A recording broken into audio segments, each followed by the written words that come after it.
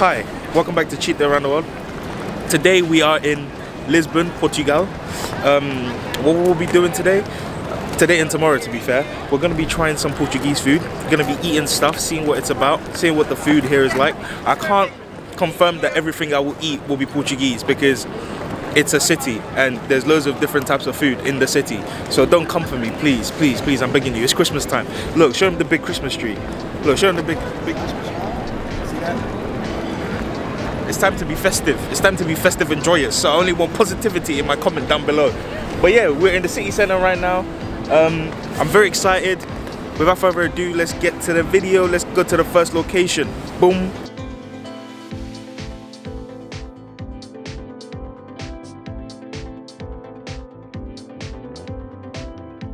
We are in, we've just gone to Manta, Mant, Manteigaria?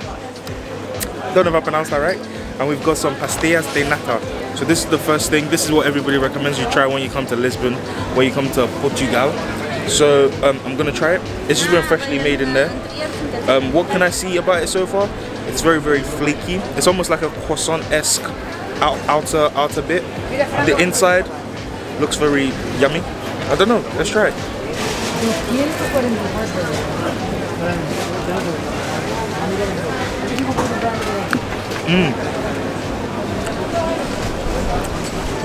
It's like a croissant that's been filled with cinnamony custard. It's very nice. It's very, very nice. It's a very good start. Look. The outside is extremely, extremely crispy.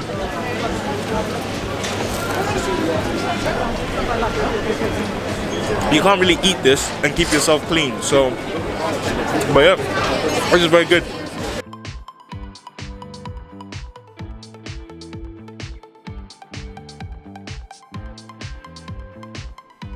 We are in Landeau. Don't know if that's how you pronounce it, but we've got this chocolate cake that's apparently supposed to be the best chocolate cake in Lisbon, in Portugal, in the world, maybe. Who knows? I don't know. There's a few of them. So yeah, we're gonna try it. Quite soft. That's gone through it very easily. So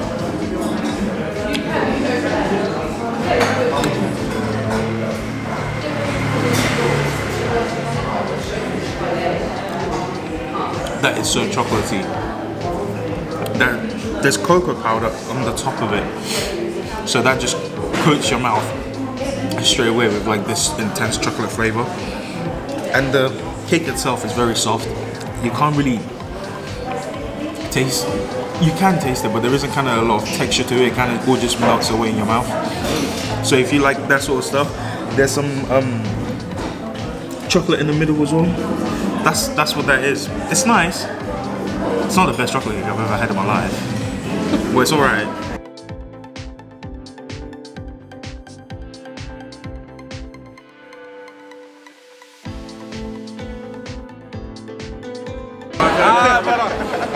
alright. So right now, we've come to um, we've come to the Time Out Market in Lisbon, and so we've had a look around.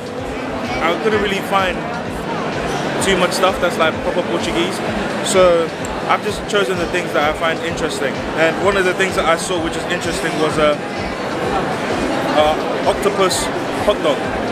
I've had octopus before, but I've never had it in a hot dog, and I didn't know that octopus could be used in a hot dog. But yeah, let's see. So it looks kind of grilled.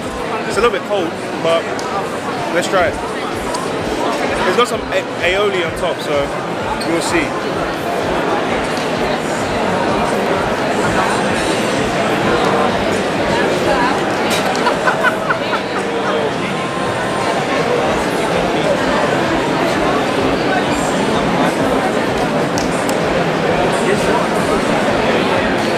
I know it's octopus, but that is very fishy. It doesn't have kind of the, it doesn't have the snap that you would usually get from like a normal, from like a normal hot dog casing. But it's still, the aioli on it is quite nice. I think it's garlic infused. It's still quite nice, but that fish flavor on this is very, very intense. That's very, very strong, but I'll give it another go.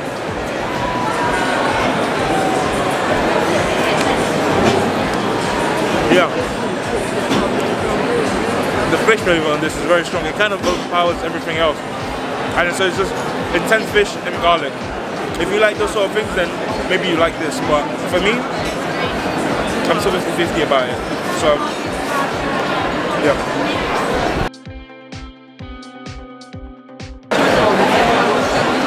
So, the more, the more I've eaten this, it's actually not bad. It's actually quite nice. The, you kind of get used to that intense fishy flavor pretty quickly.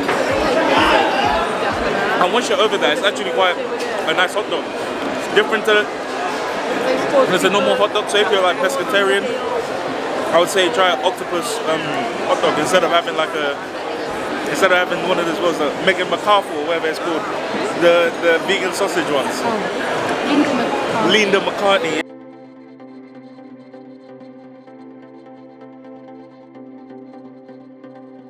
Got a Iberian pulled pork sandwich. Hold on.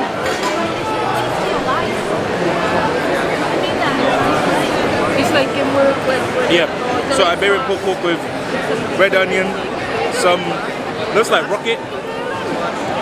like one of these boxes. Yeah, some sort of green. I don't know. You don't like But yeah, let's try it. gas, just tell me wait for the day after. Sit there. You know what I mean? You can, what they say, you can just tell them straight. I know. That's delicious. Look, There's a little bit, whatever, whatever that sauce is, the little relish that's in there. I think it's red onion relish. That is so nice. It actually, to be quite honest, it overpowers the pulled pork a little bit. The pulled pork is quite flavorless. Um, but that red onion relish is really carrying this whole thing and it, makes it so so nice. Whatever that green is as well, has a bit of herbiness to it. So. Yeah. The pork is also, to be fair, it's still juicy a little bit, but it's just not. It's not the most depressive thing in the world, but the, that red onion relish, oh my god, very nice. Why you always say that? Have a bit of this. Like, you know, this one, yeah.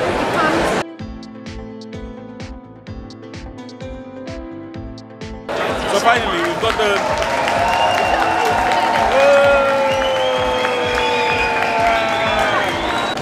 Braised sardines fillet on bread with um, red bell pepper jam.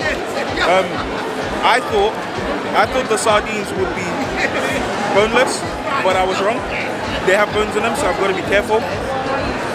But I'm still gonna risk it and just try to take a bite.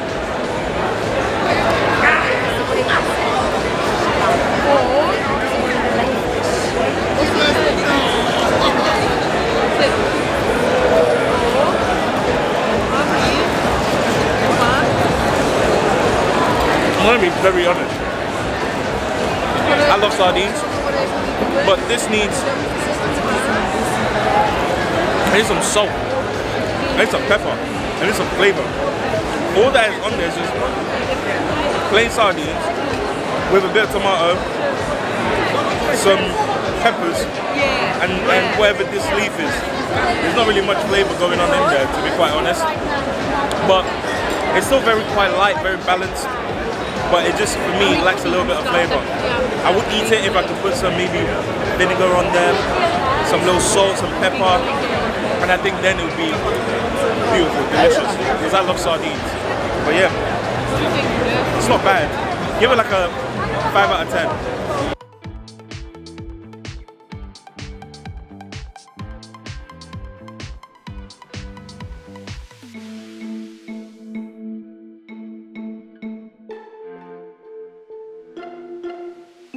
Boom, like magic. Day two. We've gone to, I'm never gonna try to pronounce that, but that's the box. And we've seen this thing all around Lisbon. It's called a codfish cake. I don't know how to open the box, but here's what it looks like. I'll take it out. It's been neatly wrapped. See? Codfish, codfish cake. What do I think a codfish cake is? I think it's a fish, codfish, wrapped in. I think it's a it's a codfish wrapped in potato, mashed potato. But this is just any mashed potato. Ugh. Oh no, the whole thing is the codfish. I think it's been kind of mixed with potato and that's cheese in the middle. So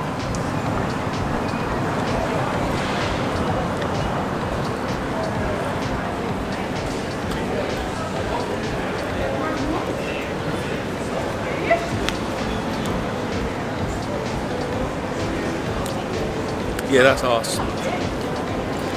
The fish, the fish is too, it's too fishy. It's too strong. It tastes like a fish that I had one time when I um, went to like a Basque restaurant. Like it tastes like it's been killed in like salt, so it's extremely salty. The cheese in the middle, I don't really like the cheese. It's giving, I don't really know what it's giving, but it's just not, it's just not for me. This, but it's worth an experience. It's only four euros. So, but yeah, nah, that's that's codfish cake for you.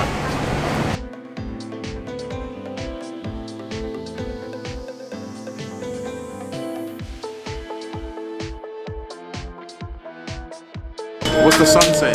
Is it all good? Okay, cool. So um, there's a there's a market nearby where we're staying, and it's raining a little bit, but it's sunny at the same time. It's weird. But there's a market nearby where we're staying. It's like a little food market, Christmas market type thing. So I decided to take a walk through, see what we could get, and came across this place that does like sandwiches and stuff like that, and they have sausages. So I got a platter of sausages. Got a platter of meat. anyway, so what I've got here is the black pudding chorizo, chicken and bread sausage, and just the normal chorizo. So I'm gonna try the black pudding one first.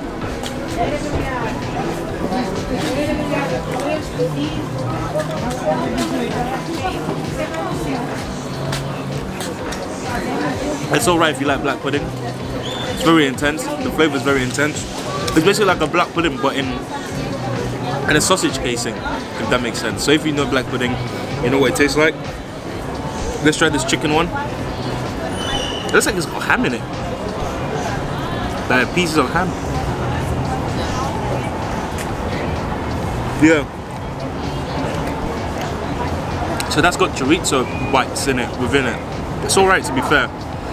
All of these are quite very not bready, soft in the middle, look. It's like it's almost like stuffing. Um, the way it is, but oh, and then now the chorizo itself. One thing I've noticed about the chorizo here is that it's quite fatty compared to normal, like Spanish chorizos, I guess. Um, there are way more fatty bits in the middle, which makes it a tougher chew sometimes. But it's still nice. It's all right.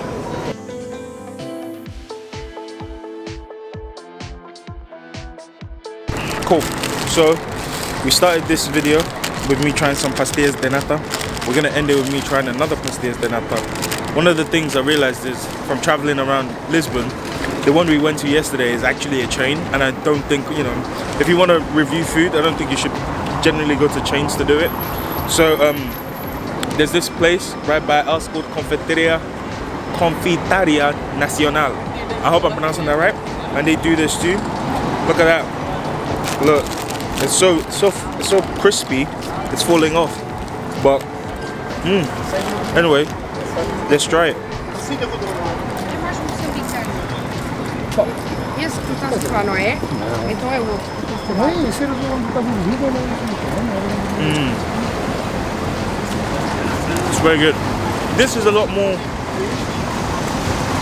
not savory, but it's not as sweet as the other one. The flavors are more subdued. I can tell a lot of effort. You mind? Anyway, I can tell a lot of effort has gone into kind of making that custard, making sure it's balanced. And the pastry itself, look, you can see all the different layers within the pastry. It's almost like a, it's like a croissant in the way it's been layered multiple times. It's very crispy, it's crunchy. It's trying so hard to hold itself together and it's not doing a very good job because, but this is lovely though. This is definitely better than the other place. But yeah, so I'm going to end the video on this. I hope you've enjoyed. Make sure you like, share, subscribe, all of that stuff. And yeah, this has been Cheat Day Around the World in Lisbon. We are over and out. Hope to see you next time. Bim bam bye. Yeah.